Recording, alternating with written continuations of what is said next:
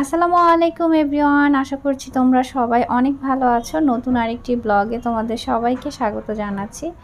আর আলহামদুলিল্লাহ আমরাও ভালো আছি, তবে আম্মু একটু অসুস্থ।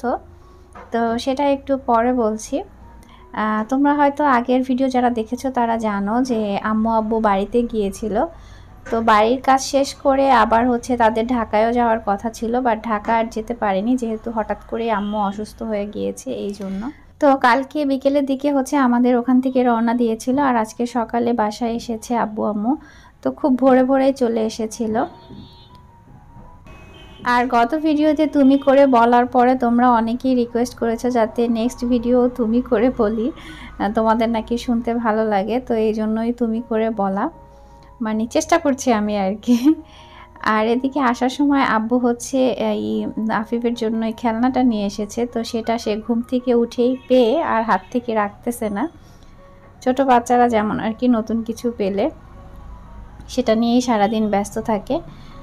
তো সরাসরি যেহেতু গ্রামের বাড়ির থেকে এসেছে, যার কারণে আমাদের ওখান থেকে কিছু মানে খাবার দাবারের আইটেম নিয়ে আসছে। আমাদের ওখানের মিষ্টি বরাবরই অনেক ভালো হয়, মিষ্টি যে কোনো আইটেমই তো ভেবেছিলাম হয়তো এবার খেতে পারব না। কারণ হচ্ছে আব্বু আম্মু যেহেতু ঢাকা হয়ে আসবে, তো তারা যেহেতু সরাসরি বাড়ির থেকে এসেছে, যার কারণে নিয়ে আসতে পারছে। হয়তো বা আমাদের রিজিকে ছিল আর কি আর অল্প কিছু সবেদা ফল নিয়ে আসছে। এগুলো হচ্ছে আমার ফুপুদের গাছের। আর মাদারীপুর, ফরিদপুর ওইদিকে তো খেজুরের গুড় অনেক বেশি প্রসিদ্ধ বলা যায়। তো সেখান থেকে গুড়ও নিয়ে আসছে। তো যেহেতু শীতকাল, এখন তো আসলে পিঠা টিঠা খাওয়া হবেই কম বেশি।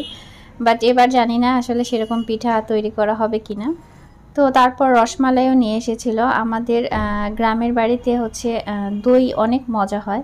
বাট দই আসলে আনা যায় না, যেহেতু অনেক দূরের জার্নি। ওটা হচ্ছে দইটা ভেঙে যায়, পানি পানি হয়ে যায়। তো এই জন্য আর আনা হয়নি।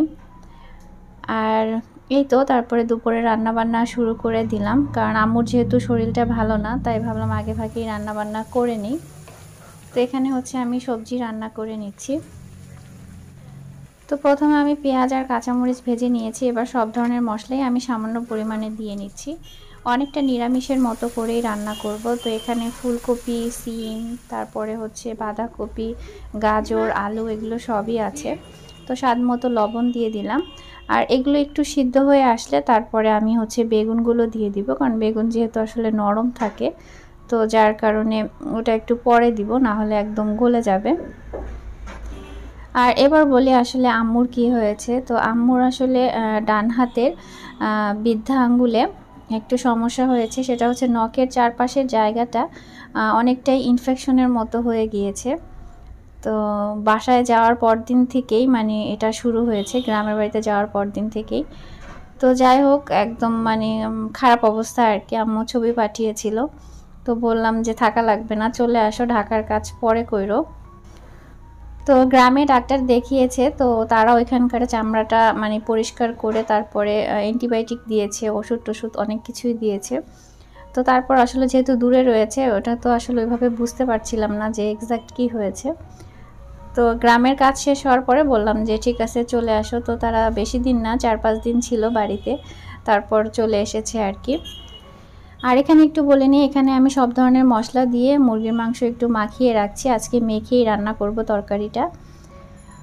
তো যাই হোক, যেটা বলছিলাম তো আমরা যাওয়ার পরে আসলে আমি একদিন জাস্ট ব্লগ করেছিলাম আর আসলে সব কিছু নিয়ে, বিশেষ করে আফিফকে নিয়ে অনেক বেশি একটা কি বলব, চিন্তার মধ্যে ছিলাম ওর খাওয়া দাওয়া তারপর সব কিছু নিয়েই ও খুব বিরক্ত করছিল। তো এই জন্য আমি আর ভিডিও করিনি। তো এগুলো বেশ কয়েকদিন আগের ভিডিও এখন আসলে আপনাদের সাথে শেয়ার করছি আর কি। তো চিকেনটা আমি কিছুক্ষণ মাখিয়ে রাখার পরে ভালো মতো কষিয়ে নিয়েছি। তারপর এখানে কয়েকটা আলুও দিয়ে দিলাম।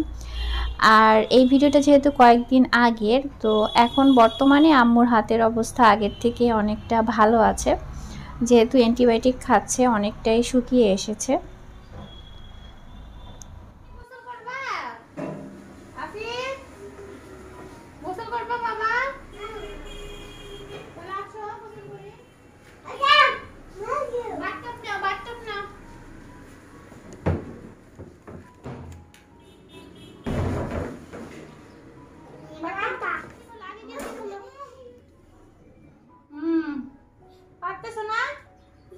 আমি হেল্প করব?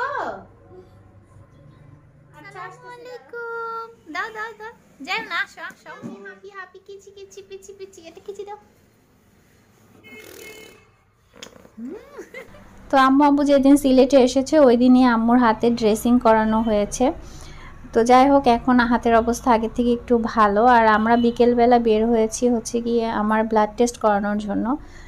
যেহেতু তিনটা ইঞ্জেকশন দেওয়া শেষ হয়েছে তো তার তিন চার দিন পরে হচ্ছে আমি ব্লাড টেস্ট করানোর জন্য গিয়েছি যে কি অবস্থা দেখব আর কি সেটার জন্য।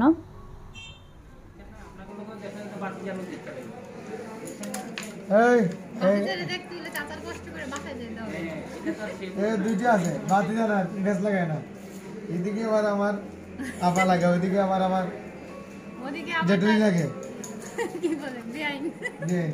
¿Qué es es eso? ¿Qué es es eso? ¿Qué es es es. তো আমার অসুস্থতার বিষয়ে বা আদার্স প্রেগনেন্সির রিলেটেড অনেক কিছুই অনেক আপুর অনেক সময় জানতে চাও, তো আমি চেষ্টা করি কমেন্টে যেটার উত্তর দেওয়া পসিবল সেটা দিয়ে দিতে। আর যেটা আসলে ভিডিওতে বলে দেওয়া সম্ভব সেটাও আমি বলে দেওয়ার ট্রাই করি। বাট কিছু কিছু জিনিস আছে যেটা আসলে অনেক বেশি পার্সোনাল থাকে, তো ওই জিনিসগুলো আসলে কিন্তু পাবলিকলি কমেন্ট সেকশনে বলা যায় না। তো যাই হোক, তারপরও যদি তোমাদের নিজেদের কোনো কিছু আইডিয়া নেওয়ার থাকে বা জানার থাকে, সেই ক্ষেত্রে আমাকে ফেসবুক পেজে নক দিতে পারো। আমি যদিও এখন ফেসবুক পেজে অতটা সময় আসলে দিতে পারি না, তারপরও চেষ্টা করব তোমাদের কমেন্টের মানে ইনবক্সের রিপ্লাই দেওয়ার জন্য আর কি। তো আমাদের এখানে ব্লাড দেয়া হয়ে গেছে, এরপরে আমরা কিছু ফল কিনছিলাম। আর তোমাদের সাথে ছোট্ট করে আরেকটা জিনিস শেয়ার করি। সেটা হচ্ছে মানুষকে দেখতে দেখতে, তারপরে জানতে জানতে মানুষের মধ্যে মানে প্রথমে হয়তো বা খারাপ কিছু দেখে তাকে খারাপ লাগে। কিন্তু একটা মানুষকে যখন আস্তে আস্তে জানা শুরু হয়, তখন কিন্তু সেই মানুষটাকে মানুষ ভালোবাসা শুরু করে। তো তেমন আমার কয়েকটা সুইট আপু আছে, যারা আগে আমাকে মাঝে মধ্যে একটু কষ্ট দিয়ে কমেন্ট করতো। আসলে জানি না সেই কারণটা কি। তো যখন আপুদের সাথে কথা বললাম যে, আপু আসলে আমি তো আপনাদের ব্যক্তিগতভাবে কোনো কষ্ট দিচ্ছি না। তাহলে এভাবে কষ্ট দিয়ে আমাকে কেন কমেন্ট করেন? তো আস্তে আস্তে সেই আপুগুলো কিন্তু এখন তাদের সাথেই বলা যায় যে ভালো সম্পর্ক আর অনেক সুন্দর সুন্দর করে তারা কমেন্ট করে।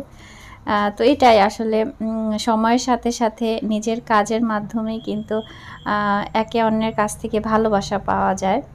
আর আমার মনে হয় ভালোবাসার মাধ্যমেই কিন্তু ভালোভাবে পৃথিবীতে বেঁচে থাকা যায়, নিজেও সুখে থাকা যায় এবং অন্যকেও হ্যাপি রাখা যায়। ঘৃণা কখনোই কোনো কিছুর ভালো কিছু বয়ে আনে না। তো যাই হোক, এরপরে আমরা বাসায় চলে এসেছি আর ভাবলাম যে রসমালাইটা বের করি। আফিফের আব্বু ও চলে যাবে কাজে। তো ভাবলাম ও একটু খেয়ে যাবে। আমাদের ওখানে রসমালাইয়ের মতো এরকম মজার রসমালাই আমি কোনো জায়গায় খাইনি। আমি কুমিল্লার মানে যে রসমালাই বলে, সেখানে সরাসরি ওই জায়গা থেকেও খেয়েছি। ওই রসমালাইটা ভালো লেগেছে। তবে আমার কাছে কেন জানি আমাদের গ্রামের বাড়িরটাই বেশি ভালো লাগে। তো যখন আব্বু আম্মু বাড়িতে যাবে, শুনছিলাম, তখন আমরা সব ভাই বোনেরাই মানে মিষ্টির কথাই বলছিলাম। তো আব্বু আম্মু বলছিল, তো আমরা ঢাকা হয়ে আসব, তাহলে তা আনতে পারব না। বাট আসলে আমাদের রিজিকে ছিল, তাই হয়তো বা কোনো না কোনো মানে মাধ্যমে তারা আগে চলে এসেছে, আর আমরাও সেটা খেতে পারলাম। আসলে আল্লাহ যার ভাগ্যে যেটা রেখেছে, সে সেই জিনিসটা পাবে। এটা থেকে কেউ তাকে বঞ্চিত করতে পারবে না। একটা কথা আছে, তোমার সব কিছু হয়তো অন্য কেউ নিয়ে যেতে পারবে বাট তোমার কপাল কেউ নিতে পারবে না। সেটা তো সৃষ্টিকর্তার হাতে, তো সেরকম আর কি। তো যাই হোক, এদিকে হচ্ছে বেলের শরবতও বানিয়েছে নেনা তো সেই শরবত নিয়ে বসলাম আর আফিক ঘুম থেকে ওঠার পরে ভাবলাম ওকে একটু রসমালাই খাওয়ায় বাট সে বেলের শরবত নিয়ে মজা করছে, কিন্তু খাচ্ছে না। আর এদিকে বাবা ছেলের বন্দুক যুদ্ধ চলছে। আর এটা হচ্ছে রাতের বেলা মানে আফিফের আব্বু অফিস থেকে আসার পরে। তো প্রায় ঘন্টাখানিক বাবা ছেলে একসাথে এভাবে খেলে। তো আজকে নতুন খেলনা দিয়ে খেলতেছে আর কি। আফিফ খুব খুশি। তো তোমাদের কাছে রিকোয়েস্ট করব, সবাই প্লিজ আম্মুর জন্য দোয়া করো যাতে আম্মুর হাতটা তাড়াতাড়ি ভালো হয়ে যায়। আর আজকের মতো এখানেই বিদায় নিয়ে নেই। তোমরা সবাই ভালো থাকো, সুস্থ থাকো। ভিডিও ভালো লাগলে অবশ্যই লাইক করতে ভুলো না। আর আমার চ্যানেলটা সাবস্ক্রাইব করতে ভুলো না। তো আল্লাহ হাফিজ আসসালামু আলাইকুম।